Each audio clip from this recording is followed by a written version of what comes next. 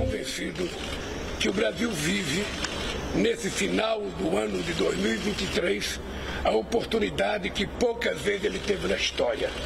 Finalmente, que o Brasil souber tirar proveito das oportunidades que estão colocadas para nós em várias áreas, eu acho que o Brasil pode finalmente deixar de ser tratado como um país em via de desenvolvimento e ser um país efetivamente desenvolvido. Para isso, a gente não pode esquecer de cuidar do povo porque o país só será definitivamente desenvolvido quando o povo estiver comendo, quando o povo estiver estudando, quando o povo tiver acesso a lazer, ao emprego decente, que foi essa outra iniciativa importante que tivemos com o Biden e com os sindicalistas americanos e os brasileiros.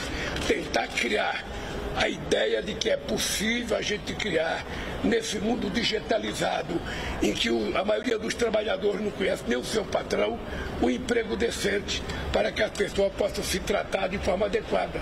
Vocês sabem que essas pessoas que trabalham em plataformas, muitos meninos que trabalham de bicicleta, que trabalham de motocicleta, muitas vezes eles não têm banheiro para frequentar, muitas vezes tem um problema de falta d'água.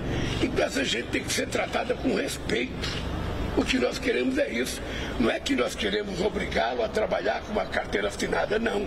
Ele tem o direito de querer ser empreendedor individual, mas ele tem também o direito de ser tratado com forma decente com, com respeito, com segurança social.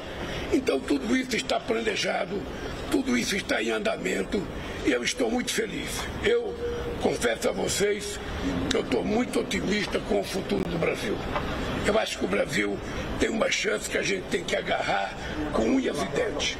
O Brasil, definitivamente, é a bola da vez.